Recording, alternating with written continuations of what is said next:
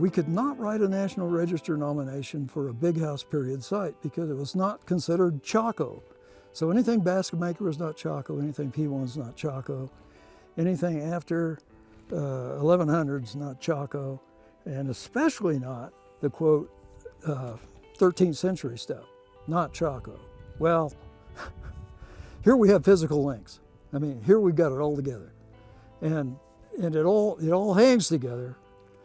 Uh, God, where am I going with this? So anyway, now that Mesa Verde's burned, we can look at Farview House and we can see that the quote ditch that we've all been struggling with all these years is actually a road that goes from a Chaco period site or a post-Chaco period site into a big house period site, which would be Spruce Tree House and Cliff Palace. Um, I think this is all about power objects. But uh, God, I'm not, no, I'm not, anyway, I don't know what to do about the symmetry stuff. I don't know what started that. Beer, beer started that. So when you're, when you're working, when you're working in architecture, and this is, we got to say, you know, all this work was done before, I mean, when I left the architecture school, the computers were coming in, literally. They were coming in the door and they were boxed in the hall. And up to that point, uh, all of our design work had been done on the table and had been done with what we call bumwad or trace. and uh, with trace, I mean, you could do process. I mean, you could layer stuff up, you know, and you could see what you what you did before. I mean, it's a great classic example of it in this foundation. You know, if these guys had trace, that's how they would have figured it out. So that's your process, your design process. We went from mapping sites using paces and compasses and chains, which is a, really crude way to do things, to using an alidade and a, you know, a basic plane table and a chain and a, a, a stadia which is also a pretty crude way of doing things, but it allows you to look at the building as you recreate it. And so if you're drawing along, if we're drawing along here and, and uh, all of a sudden I get something in this wall that doesn't seem to fit, you fall back and look at it. And, and you make marginal notes. You know, this is this, this is that, this is this, this is that. And so when I take those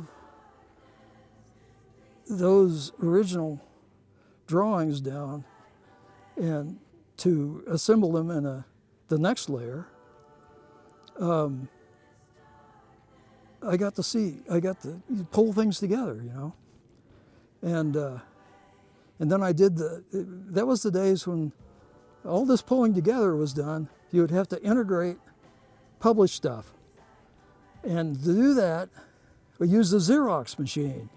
And so, you, you know, I had a little proportional wheel, and I could say, you know, I have this little kiva here in this, this publication, and, I'm, and I need it to be this big to match my drawing.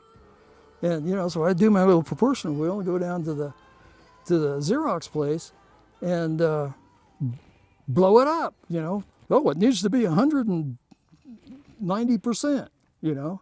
And so I blow it up and then integrate it that you so you'd assemble these things.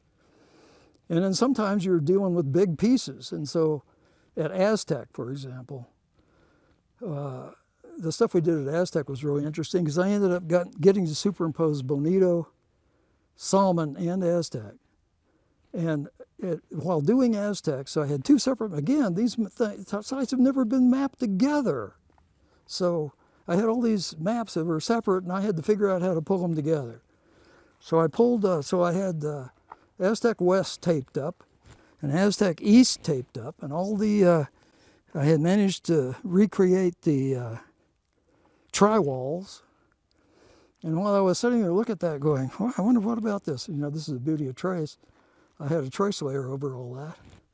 And I just laid, laid a ruler down it, folded it over, and Hey, what do you guess? You know, we had symmetry, big symmetry.